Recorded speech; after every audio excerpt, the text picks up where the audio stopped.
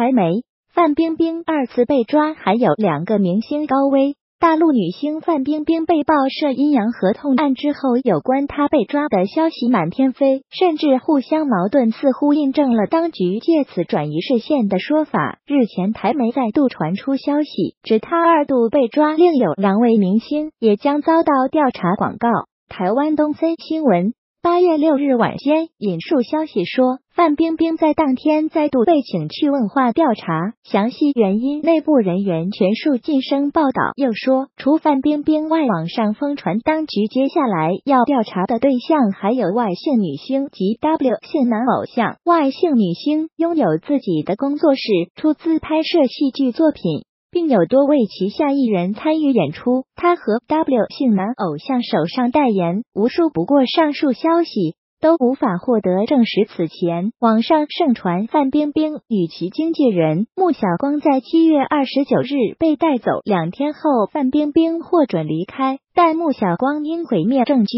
仍未被释放。与此同时，台媒又给出另一个完全不同的版本。八月一日，台湾资深媒体人许胜梅在五十四新观点节目上称，经他向穆晓光的朋友求证，范冰冰不是两天前被捕，而是早在一个多月前与经纪人穆晓光、公司会计。行政助理及公司挂名老板共五人同时消失。穆晓光公司员工后来发现，这五人已被移送北京囚禁在北京某个秘密宾馆中。八月六日，又有知情者向新唐人透露，范冰冰并没有被释放，一直被关押在北京一个秘密审理的地方。范冰冰的妈妈也被迫回国协助调查，但住在家中没有被抓。消息指，当局者似乎也不知道。